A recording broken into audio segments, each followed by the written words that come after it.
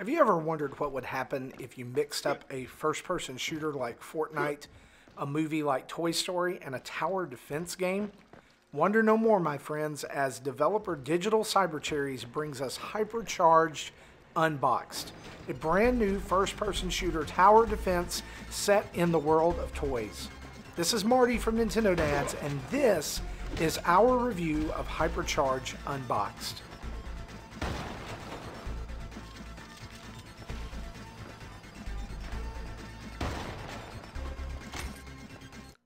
Playing as one of three type of toys, Hypercharge Unboxed follows Sergeant Max Ammo on his quest to protect the Hypercore.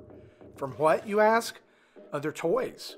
This game isn't just a first person shooter, it's a co op gem that mixes the best parts of first person shooter, tower defense, and online multiplayer, all in a charming package that will make you think you might just be smack dab in the midst of a Toy Story movie.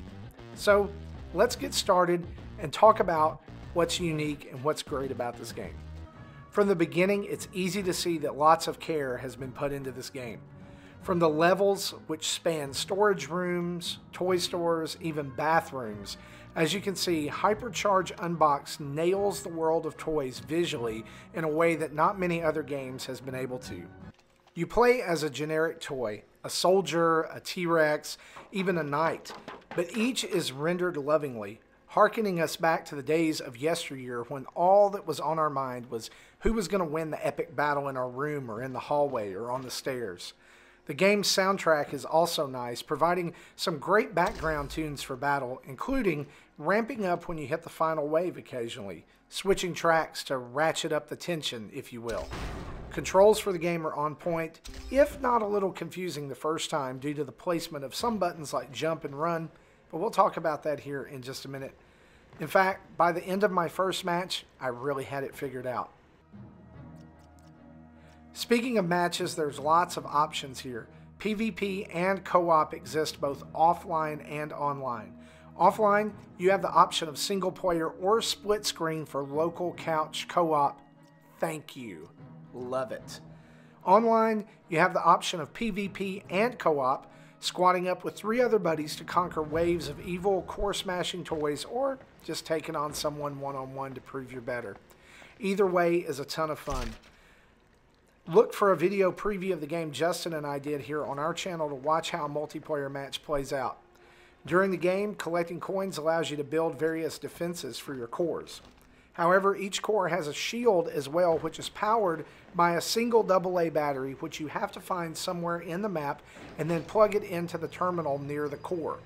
Defeating waves of enemies gives you smaller coins, and after each wave, extra attachments for your weapons and even gummy cherry life pickups will be scattered around the map, which are ready for the first person who can find them.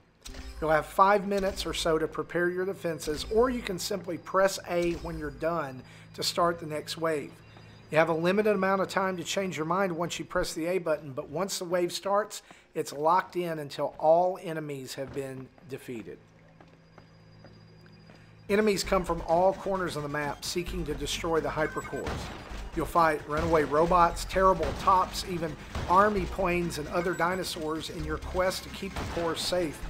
But you'll also have your arsenal of weapons and traps, and if you're playing co-op split screen or online, your buddies can watch your back too, and it ends up being a ton of fun playing together.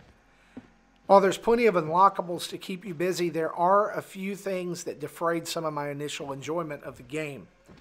The tutorial that you see in the main menu is nothing more than the images you cycle through, and they don't even give you much in the way of explaining the pace of the game or the objective. When you start out like I did, you just have to simply muddle your way through by playing around and making liberal use of the pause button to go to the menu and look at the controls. The jump and run button being mapped to the R and L buttons respectively isn't my favorite choice for those, especially since most shooters tend to have you click the stick to run and have the jump button as one of the four face buttons. But once I adjusted, I really got used to it and it was fine. Developer Digital Cybercherries has impressed us here at Nintendo Dads by being very receptive to player feedback and even has shown a map of where the game is heading in future updates beginning in February, which you can see on the screen right now. I'm happy to report a more robust tutorial is incoming, including tweaks and balancing for the game based on players and reviews.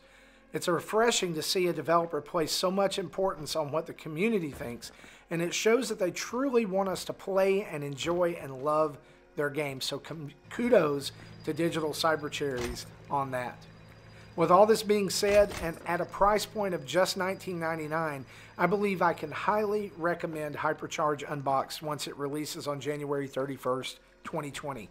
There's plenty here to keep shooter and strategy fans happy, and this is a game we really hope to put into rotation and play with our community.